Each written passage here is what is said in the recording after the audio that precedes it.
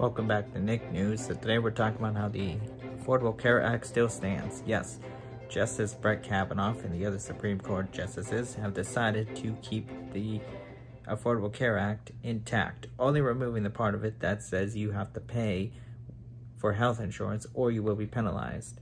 Brett Kavanaugh was seen saying that this is something that helps millions of Americans with health insurance and should therefore be kept because it helps so many people. I agree, only disagreeing with the part of the Affordable Care Act that says you have to pay for insurance or you will be charged because that was bullshit. You can't actually charge people for insurance. That's unconstitutional. What?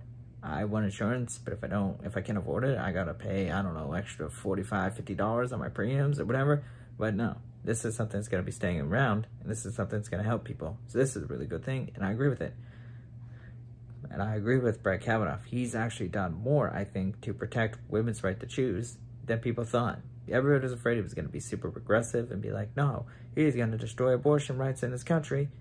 But no, he's done more for, to stand for it than I think anybody else has. And, uh, you know, props to that. Because a woman should have the right to choose. It's their body, it's not our bodies, and we should mind our own business about it.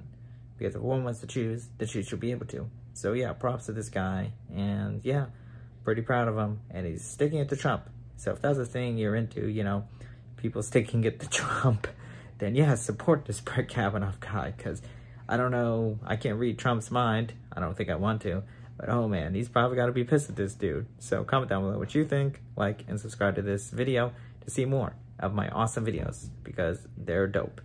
Thanks for watching.